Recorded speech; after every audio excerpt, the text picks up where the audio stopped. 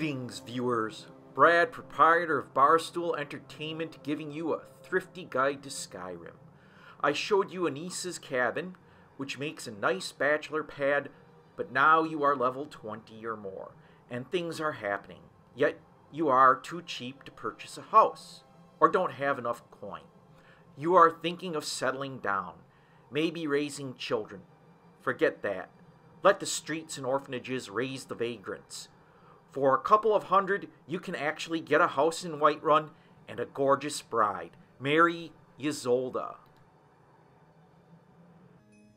Ysolda is a comely Nord woman with a house of her own in Whiterun. She dreams of being a caravan merchant or trader, maybe owning the Bannered Mare. She knows a lot about the Khajiit she is also a drug dealer, but more on that later. You can marry Ysolda after getting her a mammoth tusk. If you watched my video on hunting mammoths, you probably have already done this. Tropical forests and dusty badlands. It sounds awful.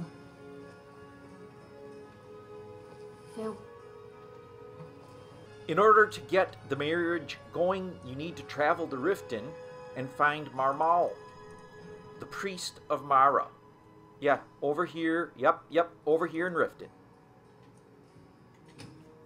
If Maramal is not in the Temple of Mara, he is probably in the Bee and Barb Tavern preaching. her benevolence.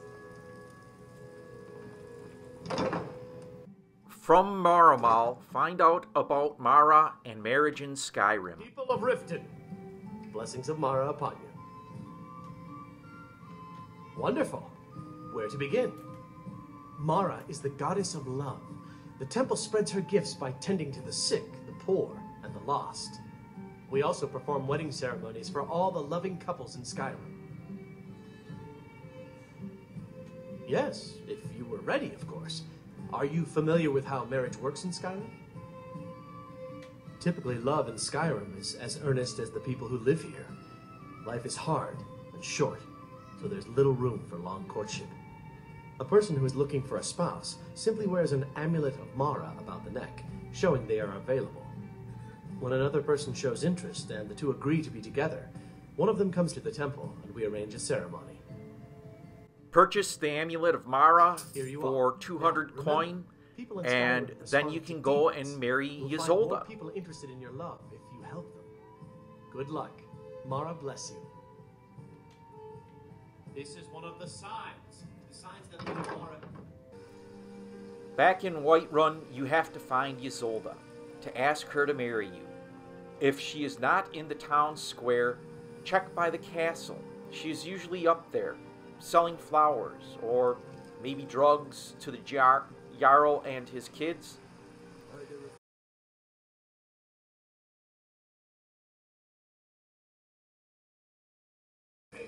Ah, there she is. Now, put on the amulet of Mara and ask her hand in marriage. Is that an amulet of Mara? I'm surprised someone like you isn't spoken for. Well, yes, why wouldn't I be? Are you interested in me? It's settled then. Brief as life can be in Skyrim, at least we'll have each other. She said yes. She said yes. Now, go back to Miss find Marmala, and arrange the the wedding. man?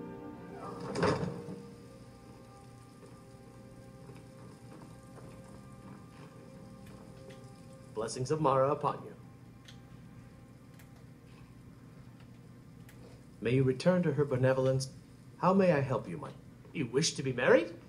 It's good to see love blossoming even during these difficult times. Your wedding will be held tomorrow, from dawn until dusk. Don't be late.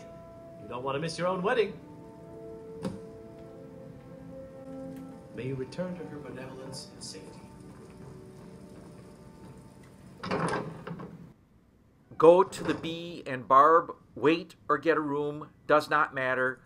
I chose to wait 24 hours, so it is 8 a.m. the next morning. I'm not going to slog through this.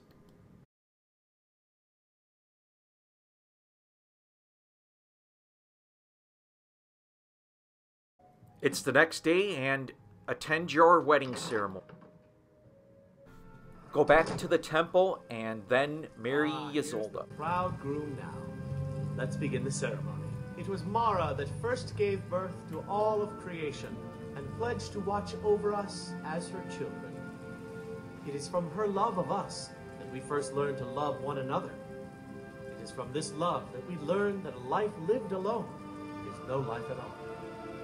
We gather here today under Mara's loving gaze to bear witness to the union of two souls in eternal companionship. May they journey forth together in this life and in the next, in prosperity and poverty, and in joy and hardship. Do you agree to be bound together in love, now and forever? I do. Now and forever. Do you agree to be bound together in love, now and forever?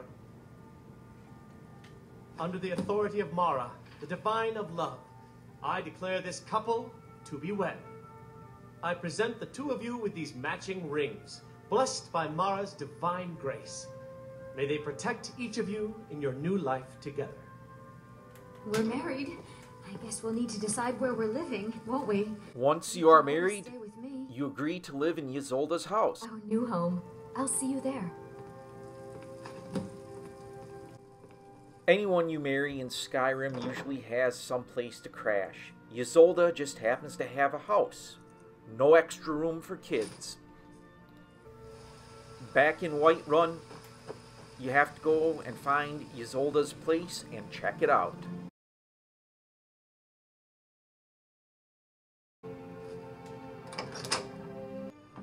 Ysolda's house is not huge. There's furnishings, a cooking pit, some very basic decorations. I mean, it's kind of drab, small. You know, wolf pelt on a table, and there's basically a partition to a small room with a wardrobe.